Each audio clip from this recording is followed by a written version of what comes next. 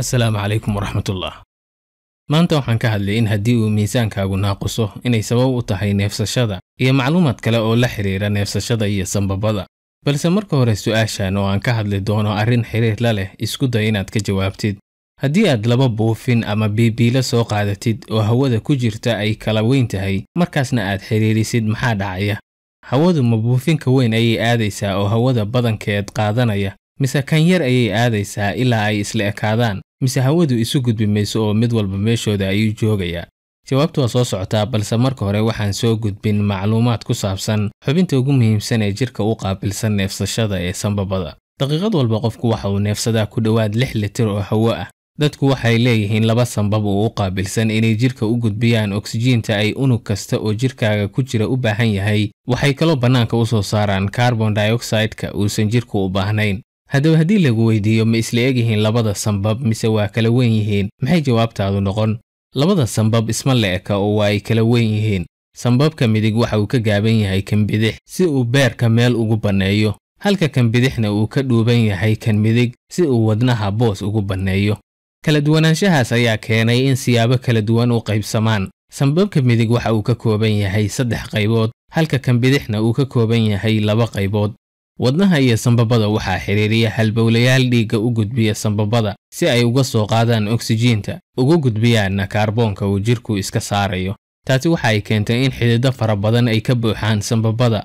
Waa waxa keenay in dadka daroogooyinka qaybtood cuna ay sanka ku jiidaan ama isagoo qiiq ah sida sigaarka oo kale ay cabbaan sababtoo ah markii ay sambabada tagaan isla markiiba dhiigga ayaa qaadaya oo si dhaqso ah ayaa raadkooda loo dareemayaa haddii laakiin qofku afka ka cuni lahaa wakhti dheer ayay qaadan lahayd intay caloosha marayaan oo la dheefshiidayo su'aal kale aan u gudbo waa maxay xubinta keliya ee jirkaagu leeyahay ee markii biyo la dul saaro aan degin? Jawaabtu waa sambabada. Sambabada haddii biyo la geliyo waa ay dul sabeeyaan oo ma degaan. Sababtoo ah hawo ayaa ku dhex jirta sambabada. Oo waxay leeyihiin kubado yaryar ama buufinno yaryar oo hawada qaada. Waxaa ingiliishka lagu dhahaa alveoli waxaa lagu qiyaasay in sababada dadku ay leeyihiin saddex boqol ilaa shan boqol oo milyan oo kubadaha yaryarka ah ee hawada qaada.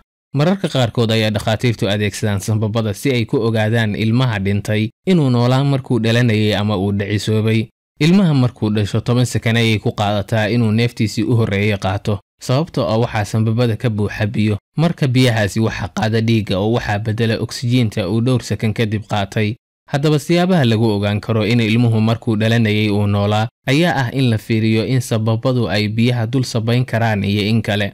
Haddii sambabadu sabeeyaan waxay u badan tahay in ilmahaasi noolaa marka uu dhalanayay oo sambabadiisu ay hawo qaateen.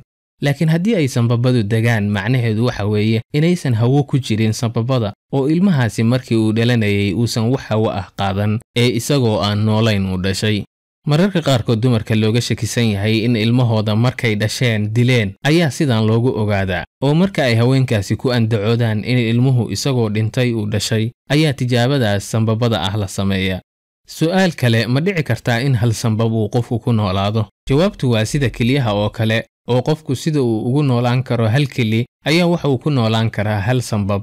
Waxaa jira dad sambabada mid ka mid ah laga saaro oo si caadi ah u nool boobka faatikaanka ee hadda jooga ayaa waxaa la sheegay in sambabadiisa mid ka mid ah qayb laga gooyey markii uu ka xanuunsaday isagoo dhallinyaro ahaa. Haddaan marka uu gudbo cinwaanka aan soo qaatay iyo xiriirka ka dhexeeya neefsashada iyo miisaanka qofka ee isdhima ayaa waxaa la isweydiin karaa horta qofku sidee ayuu miisaankiisu u yaraadaa? Xaggee ayay baruurtii uu jirku lahaa aaday waxaa dhici karta in dadka qaybtood u maleeyaan in dhididka ama saxarada ama kaadida ay jirka ka saaraan enerjigii uu jirku isticmaalayay amaba ay kul isu beddesho laakiin waxaa la soo ogaaday in neefsashadu tahay waxa qaybta ugu weyn ka qaata in jirkaagu miisaankiisu yaraado. Qofku markuu neefsanayo waxa uu qaataa oksijiin waxa uuna soo celiyaa kaarboon iyo oksijiin. Marka waxaad isweydiisaa kaarboontaas xaggee ayay ka timid. Jawaabtu waxa weeye kaarboontaasi waxa ay ka timi cuntooyinka aan cunno oo uu jirku u isticmaalo inuu enerji ka helo. Jirku markuu cunto ku filan heli waayo waxa uu jejebiyaa baruurta uu lahaa. Baruurtuna waxyaalaha ay ka samaysan tahay waxaa ka mid ah kaarboonka markii uu qofku jimicsi sameeyana neefsashadiisu waa ay badataa. Kaarboonta uu soo saarayana waa ay badataa. Kaarboontaas qofka ka baxday waxaa booskeeda lagu buuxiyaa. Cuntada uu qofku cuno oo badankood kaarboon ku jiro khaasatan kuwa loo yaqaan karbohaydrateska haddaan u soo noqdo su'aashii bilowga ee ahayd haddii la isku xidhiiriyo laba buufin oo hawada midi ku jirto ay ka weyn tahay kan kale maxaa dhacaya jawaabta waxa ay tahay buufinta hawada badani ku jirto. Ayaa hawo dheeraad ah ka qaadanaysa kan yar. Waxaa dhici karta inaad sidaydoo kale ahayd oo markii iigu horraysay aan masaladan la kulmo.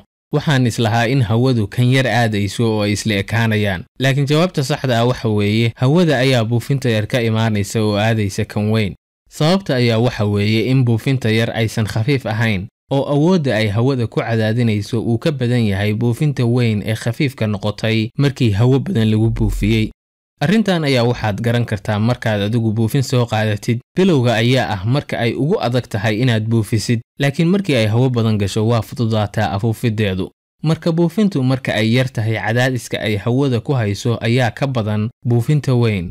Sidaasi darteed hawo badan ayaa waxay ka tegaysaa buufinta yar oo aadaysaa dhanka tan weyn arrintan ayaa waxa ay xiriir la leedahay arrin carruur badan markay dhashaan ay u dhintaan. Horey ayaan u soo sheegay in sambabadeenna uu ka buuxo kubado ama buufinno yaryar oo la dhaho alfiyolai haddaba carruurta qaybtood ayaa marka ay dhashaan alfiyoolahoodu uu noqdaa sidii labadii buufin oo la isku xiray oo kale ee aan ka soo hadlay oo qaybta yari hawada ka baxdo kuwa kalena ay ballaartaan.